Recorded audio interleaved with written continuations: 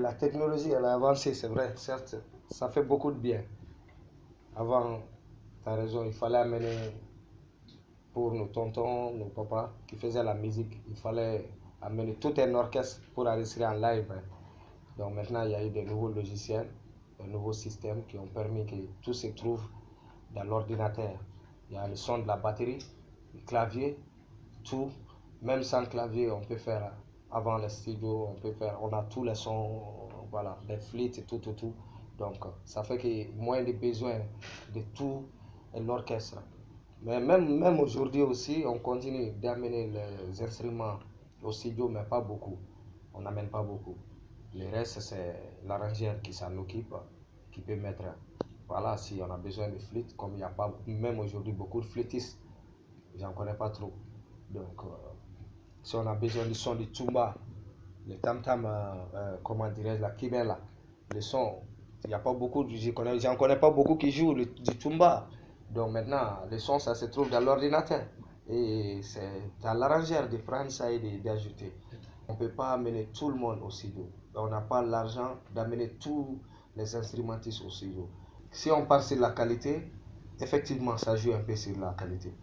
Parce que le son virtuel et le son réel diffèrent. Et l'inspiration réelle euh, d'une personne qui est accompagnée de son instrument est quelque chose de ouf quoi.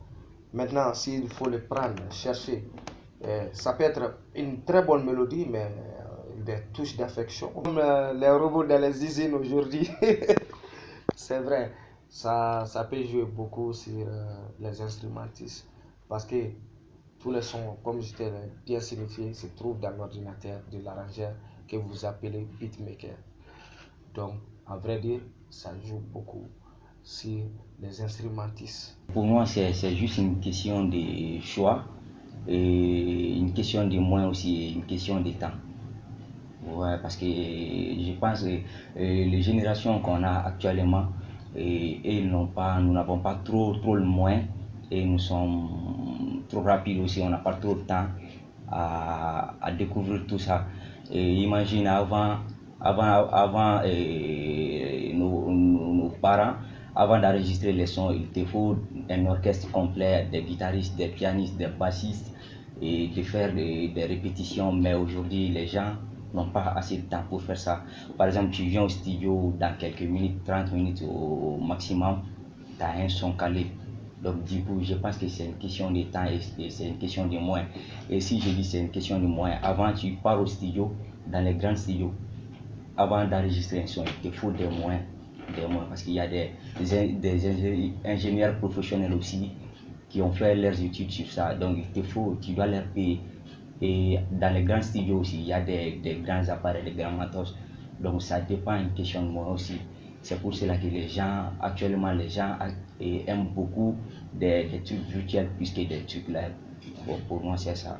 Pour moi, il y a, il y a une évolution parce que quand le monde change, il faut changer avec le monde.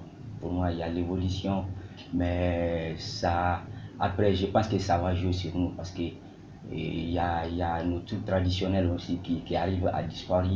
Donc je pense que dans les jours à venir, ça va jouer sur nous. Donc il faut qu'on recule aussi.